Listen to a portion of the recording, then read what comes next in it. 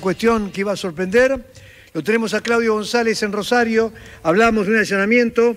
Aquí está Claudio para confirmar lo que él conoce, lo que él eh, sabe y que usted también merece enterarse. Atentos con esto, aquí vamos. Adelante Claudio, bienvenido.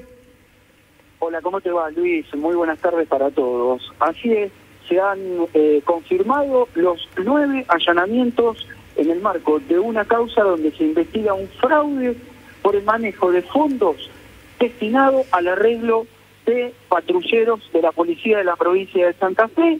No hay orden de detención de Ariel David Sancocha, el subjefe de la policía de Santa Fe, pero sí, eh, evidentemente, está mencionado y citado en la causa. Esto lo acaba de confirmar el eh, fiscal Luis Echapapietra, a aire de Santa Fe.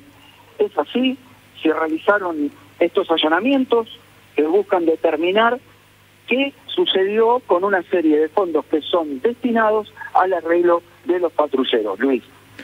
Bueno, eh, ¿en qué, qué Sí. Perdón, eh, Claudio, el, para remarcar, el subjefe de la policía este, investigado en este caso y por una situación que de alguna manera eh, reproduce o refleja algo que ya pasó también aquí en Santa Fe, en el departamento de la capital, no hace demasiado tiempo, ¿no?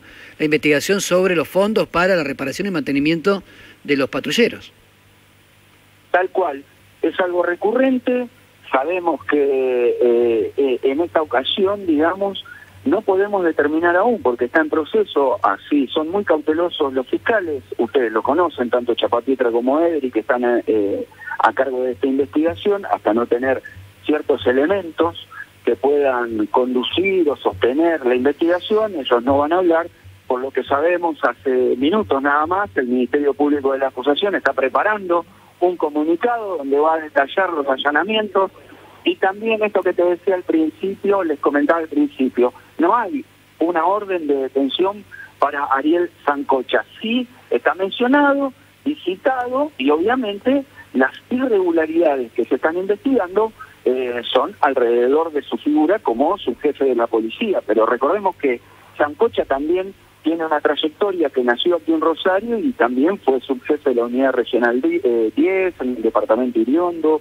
también estuvo en el departamento Belgrano como jefe, fue jefe del Comando Radioeléctrico, tiene una trayectoria amplia. Así que no sabemos cuál es el corte temporal y desde cuándo eh, se investigan los hechos eh, que figuran en este legajo a cargo de Chapapietra y Ederi. Vamos a dejar que transcurra la, los minutos y que puedan confirmar oficialmente cuál es el tenor eh, de la causa. Lo que sí, como decíamos al principio, está confirmado. Sancocha está mencionado en esta investigación. No hay orden de detención y se realizaron nueve allanamientos.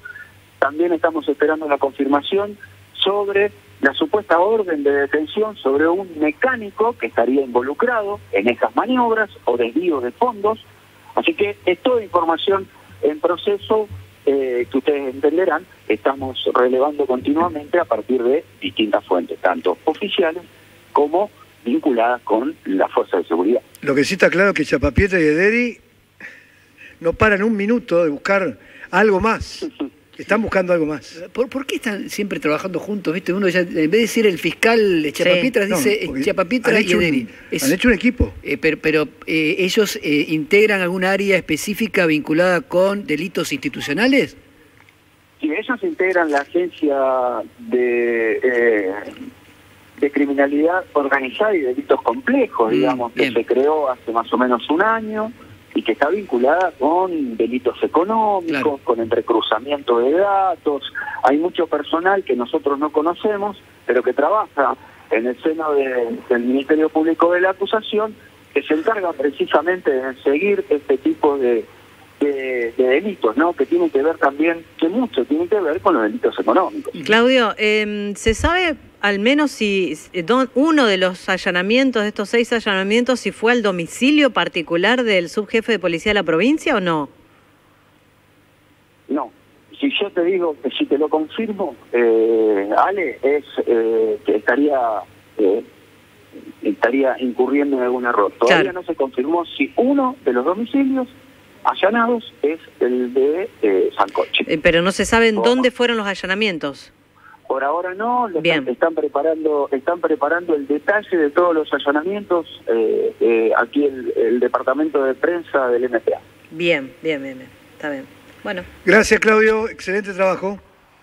Por favor, un abrazo, buenas tardes para todos. Entre Rossi, Chapapietra y Ederi y esto y lo otro, lo que sí está claro es que el que no va a renunciar o no va a seguir los pasos de Rodena, ya te lo aseguro, todos lo dábamos por hecho, era una obviedad, pero las obviedades también hay que aclararlas. Sí, sí, ¿eh? había que esperar, Sí, sí. pero obvio. sí. Omar Perotti no va a seguir ese camino, Claro, por supuesto. no va a pedir licencia.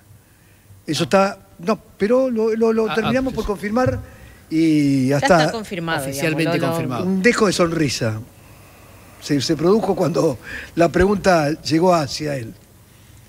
Y sí, for- forma parte ahora de las chicanas, este, campaña. Eh, sí, pero como vos dijiste, primer día. Así arranca. Sí. Faltan seis semanas. Sí. Largas seis semanas. Largas seis semanas. En seis semanas puede, no sé, hasta puede sacarse una foto juntos. claro. hasta eso puede pasar. Aburrido no vamos a estar. Gracias, José. Nos vemos mañana. Gracias. Eh, ¿Por tu lado? Bueno, vamos a ampliar un poquito los detalles de esta llegada, de este anuncio oficial de Unión. Lo preguntábamos apenas empezó el programa, ¿ustedes recuerdan cuando hablábamos de Unión? En el tema del trabajo en el mercado, ¿qué pasaba con Blandi? Bueno, no sé, esto debe tener que ver con el momento, una reacción a lo mejor y mostrar que todo